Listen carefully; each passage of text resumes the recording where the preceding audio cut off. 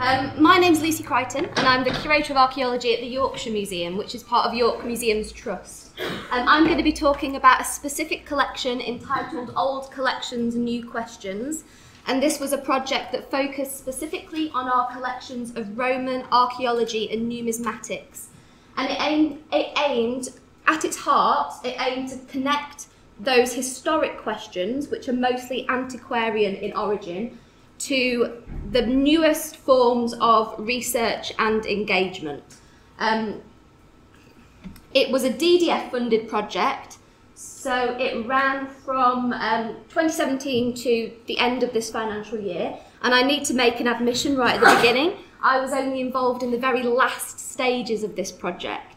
Um, so that means that I didn't get involved with a lot of the detail of the project However, I was able to observe it from a kind of external critical perspective, and that sounds more positive than it is. So I've been involved in the evaluation of the project. Um, so what I'm going to aim to do in this talk is to talk about, um, give you an introduction to our collections first, talk about the project and what it aimed to do, look at how we went about um, fulfilling those aims, look at a few case studies of projects that were produced during the duration of this project, and then critically look at what worked and what didn't. So a little bit like Anna's previous um, previous work. Um, just to give you an overview of our collections, um, the Yorkshire Museum opened in 1830 and it housed the geology and the archaeology collections that were collected by the Yorkshire Philosophical Society. So we are at heart an antiquarian museum. Um, you can see on the top right the beautiful Yorkshire Museum nestled within the ruins of St Mary's Abbey, and then at the bottom you can see another building, the Hospitium, which is where the Roman collections of archaeology and numismatics were stored and displayed until the mid 20th century. um, this fella on the left is our fantastic head of Constantine. It's one of the star objects in our collection, and it's also the first object to be accessioned into it. Um, the story of Constantine and the, um, the information that we have about him is synonymous for the wider collection as well. So he was discovered before 1823 and he was discovered in Stonegate in York. That's about as much information as we have. Um, this is mirrored across the whole of the collection. So even jumping forward 100 years, this is another one of our key pieces. This is the tombstone of Julia Velva, and we have this fantastic um, image of her being discovered during the building of a road. Um, we have fantastic antiquarian collections, mostly collected during the 18th, 19th, and early 20th century. So they have all of that wonderful complexity and lack of information that we're so familiar with with our collections. Um, they're designated, so this, as I mentioned, was a DDF project. They're of international importance, but before this project, our knowledge of them meant what we could do with them was somewhat limited. Uh, let's move on to the next one. Um, so our ACE DDF projects, oh, if this slide's messed up, it means they'll all be messed up. Forgive me. Um, the aims of it can be split into two general themes. So the improvement of knowledge of the collection, so bringing in new knowledge, increasing in-house knowledge, um, trying to get new research into the collection, and fundamentally, and a lot of this links quite nicely with Anna's previous, um, previously discussed research framework project, is create a long-term research plan so that we as curators can be proactive in the research that we try and do. We also try to increase access to this collection in various ways, so developing partnerships across the city, um, creating opportunities for new interpretation, and specifically opportunities for digital access and interpretation, which is an area of interpretation that we at York Museums Trust aim to lead on. So, oh dear me. Um, here's a summary of the project. So it's a DDF funded project. It, we asked for just over £71,000. So it's a, a, fairly large project, but you can see that the three major pots of money went on three things. Project staff. Um, we needed to get in a project assistant to make this um, project possible. capacity in house wasn't, um, we had too many other projects ongoing basically to allow us to do it in house. Um, a digital upgrade, which I will come back to later, uh, and is still pending.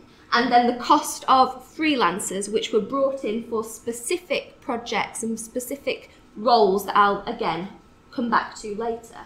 Um, and there's an overview of our internal project team. So although we brought um, people in through networks and freelancers, it involved our curator of archaeology, our curator of numismatics, and our digital manager. So, to sum up why we're doing this, we have these fantastic, internationally important, very large, designated collections of Roman archaeology. I mean, look at this stuff, it's fantastic. Um, but the way that we interpret them um, was a little bit traditional. So we've recently, not proactively, but in a reactive way, through researchers approaching us, have taken part in projects that have demonstrated what these collections can unlock and the stories that they can tell. So, for instance, um, research by the University of Reading, as part of their diaspora project in the last decade, carried out isotopic analysis of some of our human remains which demonstrated that they came, um, particular, particular individuals came from as far as Africa. So being able to tell new stories about our collections means that we can interpret them as suitable for a 21st century audience. So we've looked at the old collections. How did we go about trying to make sense of them and unpick them so that they could be suitable for new research? I'm going to go through the process that this project took. Um, first of all, looking at the, the top two um, um, products here, a research agenda and a collections audit. Um, so one of the first documents that we produced was a research agenda. And this really put down on paper our current summary of knowledge of our collection. So it summarised the collections, it collated the existing knowledge and recent research that had been undertaken on them, and it outlined the existing partnerships that we had in the city and beyond. Um, to produce this, it was authored by our um, project post, our project assistant, but we also involved two key groups, which you can see at the bottom. So it was a, a cyclical process, and we tried to involve as many people as possible in this. We had a steering group of key local partners and academics so people such as the city archaeologist, people from the most prevalent units that carry out work in our region, and subject specialists in Roman archaeology. And it was their um, role throughout the project to inform, advise, and review key milestones. Um, the steering group for this project wasn't as successful as we think it could be, and I'll unpick that a little bit later. Um, we also wanted to share our ideas with the wider community. Um, and if anyone works uh, in a historic city, you'll know that for every road, river, park, green space, there will be a local community group that has interest. So the way that we tried to broaden this out was by hosting study days, one at the outset of the project and one closer to the end, where we could share our ideas and findings beyond academia and encourage people to contribute to that discussion. And what we ended up with was a very broad list of themes. So we were kind of asking, looking at modern Roman studies, what kind of topics do we want to look at? What kind of questions do we want to ask of our collections? Pretty much covers everything there, doesn't it? It's very, it's very broad, it's very general, but what it does is it gives us a starting point to be able to start commissioning further work and to start unpicking some of these themes. Mm. I do apologise about these slides. So, concurrently to the production of the research agenda and its sharing and constant updating, we carried out a collections audit. We realised that for this project to be successful, we needed a thorough understanding of what was in our collections. And before this project, we didn't know that. Um, so from scratch, um, our wonderful project assistant Emily, with the help of many volunteers, including Joan and Sean here, um, audited everything that we have. So that's 15,000 Roman coins, 1,000 Roman small finds, and 3,000 boxes of bulk archaeology. Um, So now we're at a position of knowing more what's in our collection than ever before. So this was able to quantify our collections for the first time ever, which in itself is fantastic. It also showed potential areas of, um, of significance, so perhaps large assemblages that hadn't been looked at in detail before. And crucially, it also told us where everything was, which would allow the access that was so crucial to future um, stages of the project. Throughout the collections audit, we also got a better idea of the conservation state of our collection. Um, so we were able to in-house deal with smaller conservation issues like um, repacking of boxes and rationalisation of archives in terms of rationalising space. Um, but it also highlighted larger conservation issues, which we were able to bundle up into this project, such as the repointing of our Roman mosaic. That's probably not the conservation term. Um, so, we took these two new pieces of information, our broad research agenda and our detailed collections audit, and we commissioned two external freelancers to develop project plans. um, we, um, we commissioned two because we got one, um, Vincent Drost on the left to look at our Roman numismatics collections, and then Patrick Ottaway on the right to look at our archaeology. Um, these two collections have historically been managed in two quite different ways, and up until very recently, we've had both a curator of archaeology and a curator of numismatics in post, which is quite rare for a, a museum of our size. Um, so both of these um, fellas are experts in their particular area. We've worked with them before, and the useful thing about bringing in external um, freelancers is that they were able to look at our collections from obviously an external perspective and benchmark them against other national collections, showing their relative importance. And they were also able to highlight objects and assemblages of key importance. So they both produced a research plan for their specific aspect of the collection, and this is the um, the covers of those two. I've brought a copy of all the documents that were compiled and created as part of this project so I can share that with you afterwards if anyone's interested. Um, and these two research strategies again summarise the collection but with a level of more critical detail, so highlighting the potential, the areas of real key strength. Crucially then, the specialists also delineated a number of research topics. So we basically have research frameworks here that allow us to go off and be proactive with our research. There were certain limitations to this, which I will come back to at the end. Um, so, did we get new answers as part of this? So, as well as the one strand of the project that was authoring the research framework and getting all of those resources in place for us to be proactive about research in the future, we also were able to carry out some um, smaller, more discrete projects during the lifetime of, um, of our DDF project. These can be grouped into several categories. Some of them were commissioned with project money, and some of them just happened a little bit. I mean, some of you were talking about this today. When you get the word out about your collection, it seems like people just come forward Similarly, and including these two examples, just having the increased knowledge of the collections from the audit gave us new opportunities for interpretation. I've got a few micro examples of this. One is the rediscovery of a hoard that we'd had since 1840. So this was a hoard that was found in the centre of York. Um, a Roman, it was a silver denarius hoard, and it had been collected, catalogued in a lovely way here, and then all split up and amalgamated into the core collection, which is all well and good for information, but in terms of engagement and display, it makes it rather difficult. Um, so through the help of a volunteer and some very meticulous unpicking of the catalogue and comparison with our collections management system, we were able to reconstruct the hoard. So we kind of have a new acquisition from that. Another example is through the discovery of objects that we didn't know we had. So through the audit, one of, um, one of our volunteers opened a box that contained this object. Um, none of our collection staff had seen it before. We didn't know what it was. Um, we found a brief reference to it in one of our historic handbooks. Um, but apart from that, it could have been it could have been anything. It looked vaguely Roman, we thought. Um, by sharing this new discovery with the wider specialist world, so specifically putting a note in Lucerna, the Romans Finds Group journal, um, we were able to get an identification for this object. So this is actually a gold funerary plaque that would be placed over the mouth. Really quite interesting.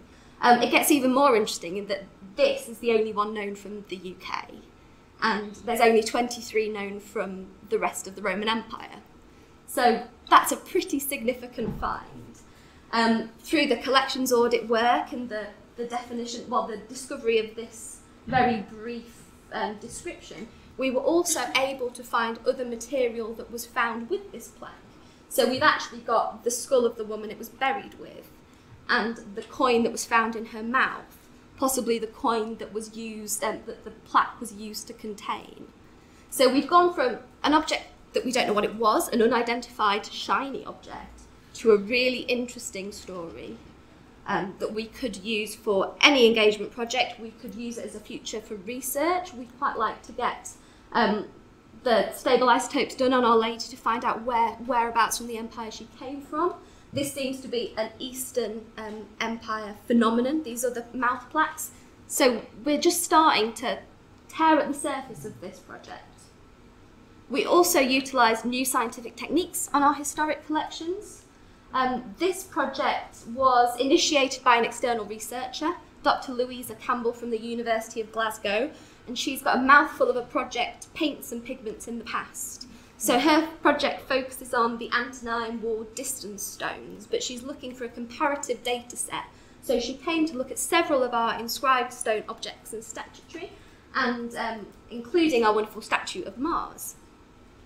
So by carrying out PXRF and micro Raman spectroscopy, I think, um, she was able to identify that Mars actually had a layer of gesso on him.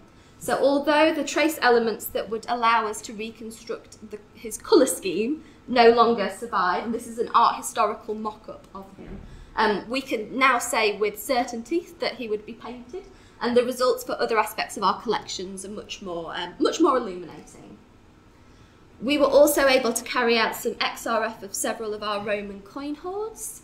Um, again, just a very small sample, a snippet, not enough data to really show specific trends, but enough to create new stories for the collection. So, for instance, the silver composition that was um, from several of our um, siliqua hoards shows that it's likely that contemporary copies were being made from clippings of the official coins within the hoard. Conversely, um, coins from our recent acquisition, the Wold Newton hoard, which are copper alloy nummi, um, the composition of the official copies, sorry, the official coins and the contemporary copies are very different. So we can start to explore issues and topics of forgery in Roman Yorkshire. We were also able to carry out some geophysical survey in our museum gardens. Um, this was a strategic priority for us in that the museum, Yorkshire Museum, sits right within the heart of Roman York. It's just outside the walls of the fortress, and we know that there was Roman activity going on in this space. There's a probable Roman road leading through the gardens. There were limited excavations carried out in the 1950s, but the archives from those haven't been studied or, or, or properly looked at. So we were hoping through this to be able to add several new layers of interpretation to our garden um, to our garden interpretation basically. Unfortunately, it seems like the Roman archaeology is too deep, but we found out about some new medieval features, so we'll skip over that. Um, I mentioned at the beginning that um, one of the main um, strands of this project was to increase opportunities for digital engagement, and there was a big pot of money set aside for this. Um, most of that was set aside for a project that would transform our collections online. Um, by purchasing a piece of middleware software, you'll have seen that I've just handily copied and pasted the definition from the website. So basically, we have purchased a piece of middleware software which is called the CIIM. And what that will do is transform the way that we can display our online collections. Our collections online portal at the moment, it's pretty expansive. There's lots of our objects on there, but it's directly linked to AdLib, which is our collections management system. And anybody who's worked with AdLib will know that it's just awful. Um, it's very difficult to navigate and it has very limited searchability. Um, so that the way that members of the public can use that data and access it is, is rather limited. What the CIIM does, it puts a piece of middleware in between your public-facing um, collections online and your database, which allows you to do lots of fun things. It allows you to update your database very quickly, so you can put new documentation, new digital outputs, new information on there really quickly. It also allows you to link to lots of other key pieces of information online. Um, it has unlimited, or not very limited, searchability. So it's not just confined to those specific object terms. There's the potential for people to be able to search for whatever they want and they will collect data. It also allows a two-way interaction. So the public are going to be able to interact with these records, they're going to be able to comment on them, they're going to be able to group them. We'll still have curatorial control over what that means and where that information is used, um, but it's given us a, a big, um, a big new opportunity to transform our collections online. With that in mind, we embarked on several research projects, volunteer projects, to start diversifying the types of information that could be added to that system, um, including volunteers who added historic environment record information, linking up the fantastic online portal that York's HER already has, um, adding things like research articles, so Roman inscriptions of Britain, you'll be able to link through to that, and also things like press. So you're also you're kind of amalgamating the whole history of research public interest in a particular object. And for a collection like ours, that's really impactful because we have quite a few celebrity objects where there's a lot of information out there. We also undertook photogrammetry, so we did this in-house by um, taking lots of photographs. Part of the project was to train up our staff so we were able to produce these going forward. And so we created some 3D models which are available on Sketchfab. And again, when our new collections management system is in operation, these will link through to the object records. So it's just increasing the ways that we present information about our objects. And we also played around with some augmented reality. Again, this was an external approach from the BBC Civilizations Festival programme, whatever we're calling it. They were particularly interested in using Mars as part of their app. So they 3D scanned him, and you can now look at the real thing and the fake thing next to each other.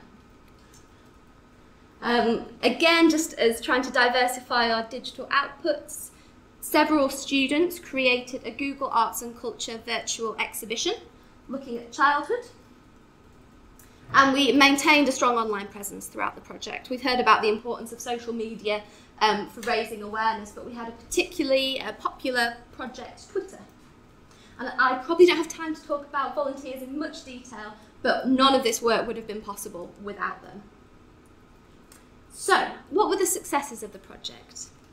We have a better knowledge of our Roman collections than ever before, including crucially where it all is. We have better levels of documentation and collections care, and we were able to commission several creative projects that have already added to the interpretive possibilities of our collections. Perhaps most importantly, and this was the key aim of the project, we have clear resources, a research framework for our numismatics and archaeology collections that allow us to be proactive with future researchers so we can take the direction of collections research in whichever way we like. We have the tools to be able to easily do that now. Um, when it works, the CIIM will have laid the groundwork for transforming our online collections. We've built a network of partners for future collaboration. And interestingly, although this was not a direct aim of the project, we have been able to produce a template for which we can use as a basis to explore other parts of our collection. So our Curator of Natural Sciences is taking both the structure of this project and the learning from it to produce a framework for assessing the biology collections, which is a part of our collections that we don't know very much about. Um, we also hope that we might be able to repurpose this as a bit of a resource for other museums with similar collections to use. So, what could we have done better? There's been a lot of evaluation above and beyond the normal evaluation that was necessary for ACE reporting, and I identified several ways that we feel that we could have improved the project. Um, the project was developed in quite a quick timescale, so the bid was put in at rather short notice, as is often the case with these things. We would have benefited from more clearly defined aims in that process. What we had is quite broad, overarching ambitions. So it was all about ambition, so increasing knowledge, increasing access, um, which is fantastic. But what I think that meant is that we tried to do a little bit too much spread ourselves a little bit too thinly. Um, what we also didn't have when putting this bid together was a nice example to use as a basis. This was very experimental for us, um, which meant that we were kind of writing in the dark. We, again, going back to those grand ambitious plans, we could have done with having some more measurable objectives. Um, what we didn't put were really timely milestones in the project that allowed us to see when things were perhaps going off course slightly. Uh, one of these um, things that did go slightly off course was the digital side of our project. Um, there was a slight miscommunication between the people commissioning the software and us as curatorial people who had limited technical understanding of what that means, and that ultimately meant that the, that aspect of the project was delayed. Again, going back to a sharper focus. So perhaps we tried to do a little bit too much with our 18 months and limited resources. We had a small project team, many of whom were involved in other major projects during the duration of the project. So there were three temporary exhibitions that happened during the same financial year.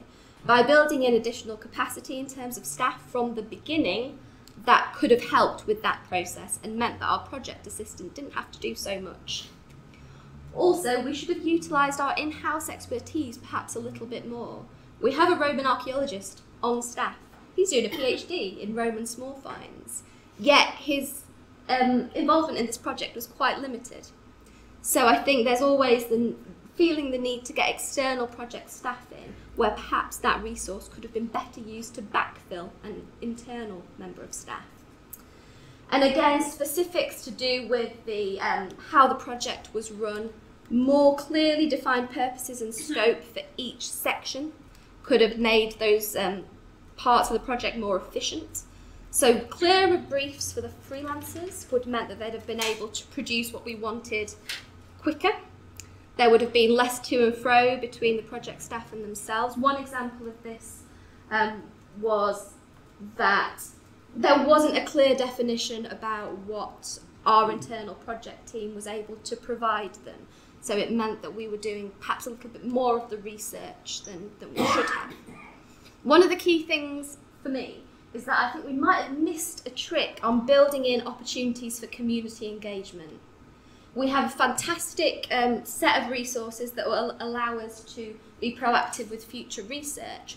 But because the freelancers that we commissioned to draw up those lists came from an academic background, it means that we have a very academic focus to those research topics. Perhaps building in more community stakeholders, including them as part of that key stakeholder panel, that project board, so including, I mean, partners that we have in the city like the CBA, perhaps other local societies might have got around that problem. And of course, there's always the issues of we could have managed the project better in some ways. There were three project managers. It would have been better if there was only one.